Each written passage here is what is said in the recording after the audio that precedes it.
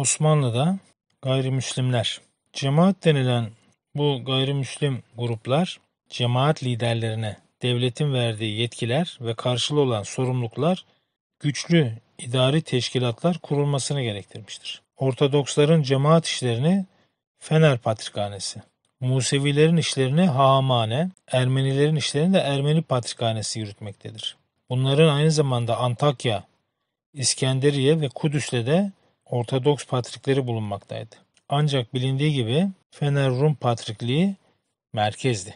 Fatih'ten sonra Ortodoks Rum, Ermeni ve Musevilere, cemaatlerine, mabetlerine ve ibadet etmelerine dokunulmayacağı hususunda ahd ve eman verilmişti. Aslında bu davranış İslam dininin bir gereğidir. Onun hoşgörüsüdür. Üstelik karşıtını yapmak şehrin yerleşik nüfusuna bağlı ekonomik düzeni de bozar ve fevkalade kötü sonuçlara götürebilirdi.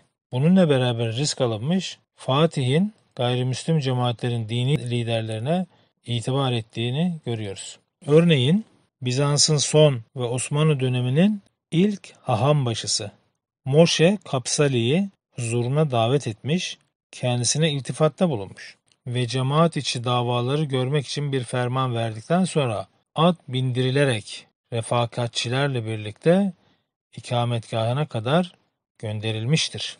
Burada haham başının at bindirilmesi hususu önemli bir protokol unsurudur. Çünkü padişah ve vekil sadrazamdan gayrı şehir içinde at binen kişilerin sayısı sınırlıdır ve gayrimüslimlerin at binmeleri de yasaktı. Yani böyle o yasağa istisnai delme olmuş. O da işte bu cemaat liderlerine verilmiş. Normalde gayrimüslimler şehir içinde ata binip cemaatiyle dolaşamazdı. Nitekim Fatih ile başlayıp 1657 yılına kadar seçilen her Rum patriği bizzat padişahın huzuruna alınmış, görüşülmüş, güven telkin edilmiş iken Eflak ve Boğdan voyvodaların isyana teşvik eden Eflak ve Boğdan voyvodalarını isyana teşvik eden Patrik 3.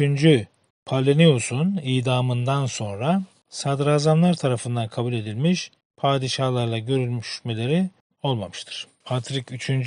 Palenius isyana teşvik ettiği tespit edilmiş, ispat edilmiş ve kendisi idam edilmiş. Tabi bu durum aleyhlerine olmuş.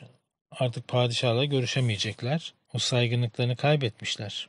Sadrazamla görüşecekler. İlki olarak zimmiler yani gayrimüslimler kendi cemaatleri kapsamında hür ve kiliseleri çevresinde örgütlü, dini, hukuki ve kültürel ayrıcalıklara da sahip olmakla beraber Müslüman teba ile birlikte oldukları günlük hayatta örneğin giyim kuşam konusunda çoğu renk, biçim, kalite gibi fiziksel anlamda yapılması zor olmayacak kadar basit ancak kişiliklerin zedelenmemesi açısından hiç de hoş sayılmayacak kişiliklerin zedelenmesi açısından zedelenmesi açısından hiç de hoş sayılmayacak belirli bazı kurallara, kısıtlamalara uymak zorunda bırakılmışlardır. Şu demek, Müslümanlarla gayrimüslimler aynı şeyleri giyemezlerdi. Farklı giyerlerdi ki kim Müslüman, kim gayrimüslim belli olsun. Hatta gayrimüslimlerden de hangi cemaate mensup oldukları giysilerinden belli olurdu. Böyle bir ayrımcılık vardı ama bu aşağılamak için yapılan bir ayrımcılık değil. Tanımlanmak için yapılan bir ayrıcalık. Tanımlanmak için altını çiziyorum.